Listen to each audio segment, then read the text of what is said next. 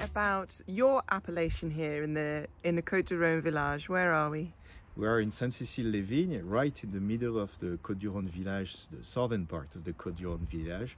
And Saint-Cécile is surrounded by all the villages en cru of the Rhône Valley, like uh, Cairanne over there, and then Rasteau, Séguret, Sablet, and uh, in the far end you can see the Mont Ventoux, and then we have Vacqueyras, Gigondas, Beaumes de Venise.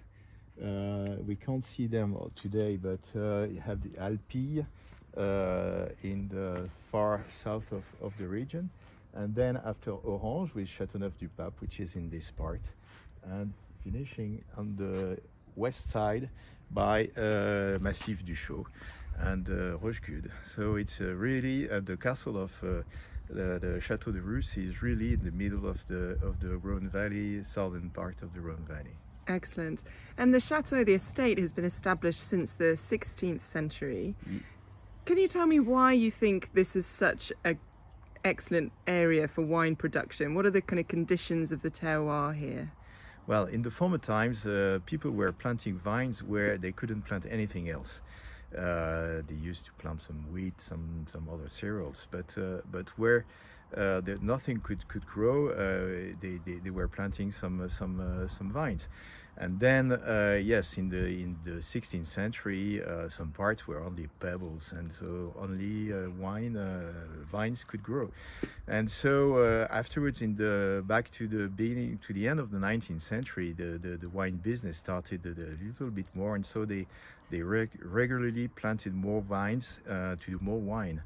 Uh, but the terroir are still very, very, very are still here. They, you can't move the terroir. Terroir is, it has to stay where it is, and uh, so uh, we they planted more more vines, and uh, uh and the, the, the quality of the terroir is good because uh, it's it's the, the, the earth is not very rich. It's very poor, and so the, the, the, the, roots have to go underneath very far to get all the, the, the minerals and the, all the, the, the good uh, nutriment for the, for the vines and for the wine. Excellent, fantastic. And what are the varieties that work best here for you? What is it that you've been planting most? Uh, it depends on the type of grape. Some grapes need a lot of water uh, to drink, well, to drink, to, to, to, to, be underneath, and some a little bit, bit less. So for the terroir which are very dry, usually we plant some Grenache, which is the, the, the, the king grape of the southern Rhone Valley. But we also planted some, some uh, Syrah, uh, which needs a little bit more water. So the, the, the soil has to be, be uh, have to be a little bit richer. Uh, and uh, the third very well-known grape in the Rhone Valley is the Mourvèdre. Uh, the Mourvèdre is a typical grape from Bandol. Usually they say that uh, the, the Mourvèdre has to have the feet in the water and the sun, uh, and the head uh, on the sun. But uh, here the Mourvèdre uh, grows very well and and it's a, it's a good add to the to the assemblage of the wines, to the blends of the wines. Yes. Excellent.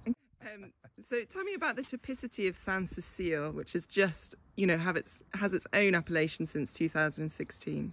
Yes, there are two main points, which is the, the fruits in the in the wine, and uh, also the tannins, which are very present, but uh, but uh, uh supple. And also there's it's a little bit spicy, but it's not peppery or uh, uh, or, or, big spice, but very very nice and elegant tannins and and spices. Fantastic. Merci beaucoup.